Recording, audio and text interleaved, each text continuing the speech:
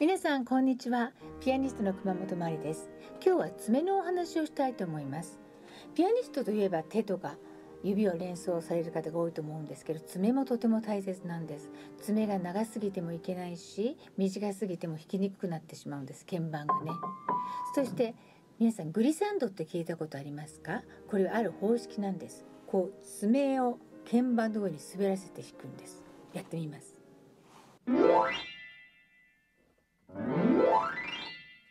左手でも。これは爪が強いとできるんですけど爪が弱いと切れちゃったりするんです。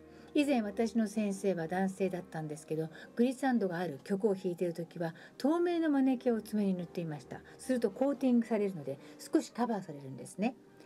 これは発見のグリサンドなんですけど黒鍵のグリサンドもあってさらに難しいんです。と白の凸凹がありますからここがねちょっと痛くなってしまって私もこの曲が入っている「ファリアのスペインの庭の夜」っていう曲があるんですけどもこの皮がむあの腫れちゃって何度もこう赤くなって炎症したことあります。でもこういったイメージがあるんですけどこんなグリサンドっていうこういう弾き方もある。楽しいんです。皆さんもちょっと挑戦してみてください。グリサンド。